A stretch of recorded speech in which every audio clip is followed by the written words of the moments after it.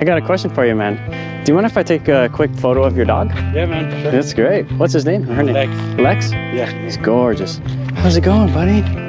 And very calm. Hey, Lex. So, what do you think, like, if you could say one thing to the world, what would that be? Ooh. Full of love. Psychic spies from China try to steal your mind. Just be, be loving? Yeah, but, but like capital letter loving. I haven't seen a Doberman in a little while. These dogs also, like, their reputation is not as soft as he actually is. Because they have the potential to be really dangerous. Right. They're like perfect guard dogs. But Yeah. if you make him like learn how like people are nice and they, they socialize a lot, Yeah, you get a whole different you get a beautiful, Not what you loving dog. Thanks, Lex. You're amazing. You're a great model. Lex, full of love. All right, see ya.